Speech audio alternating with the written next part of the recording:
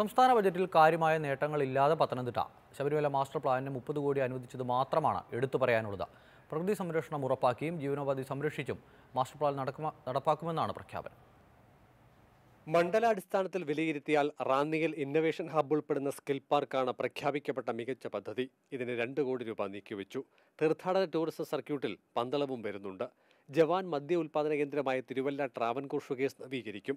മരച്ചീനിയിൽ നിന്നും എഥനോളും മറ്റ് മൂല്യവർദ്ധിത ഉൽപ്പന്നങ്ങളെ ലക്ഷ്യമിടുന്ന പദ്ധതി കർഷകർക്ക് പ്രതീക്ഷ നൽകുന്നുണ്ട്.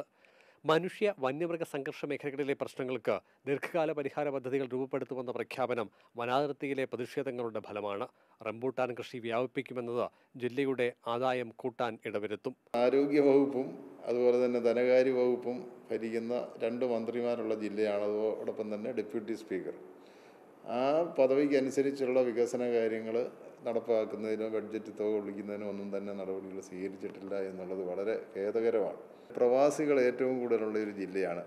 വിദേശത്ത് പോയി ജോലിയില്ലാതെ കഴിയുന്ന പ്രവാസികൾക്ക് അവർക്ക് അവർ അവരുടെ അവരെ സംരക്ഷിക്കുന്നതിനോ പുതിയ പദ്ധതികളൊന്നും തന്നെ നടപ്പിലാക്കിയതായി ബഡ്ജറ്റിൽ കാണുന്നില്ല കുടിവെള്ളക്ഷാമം അതിരൂക്ഷമായ ജില്ലയിൽ അതിനുള്ള പദ്ധതികൾ ഒന്നും പ്രഖ്യാപിച്ചിട്ടില്ല.